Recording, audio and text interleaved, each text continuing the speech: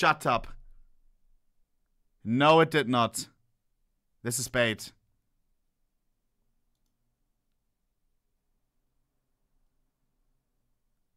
Nine. Nine, nine, nine, nine, nine, nine. Nine, nine, nine, nine, nine, nine, nine. Guys.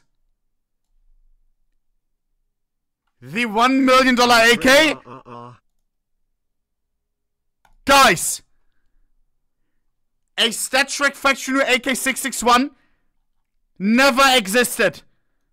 It since it, the first case that got released, weapon case 1, is the AK Case Hardened.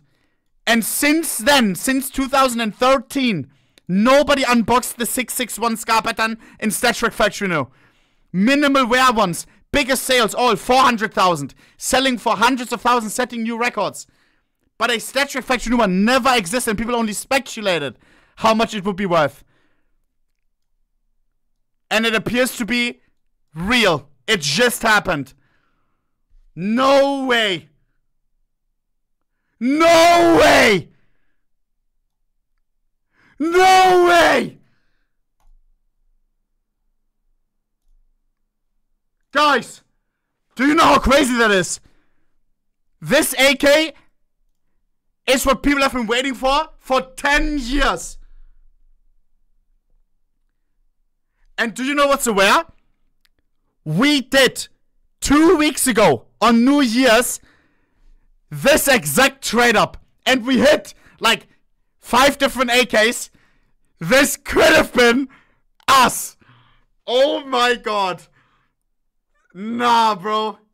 That is insane. That's the $1 million AK, chat. What in the fuck? I have to post about this, bro. I have to post about this. What in the fuck? It's not on database, right? Is it on a database? Oh my fucking god, bro. Chad, we're gonna watch Bleed and uh, TSM. But what in the world is this? It's it's not on on Yeah, it's it's not on a database.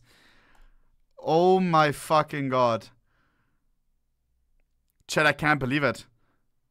And it's and it's probably a Chinese guy who did it.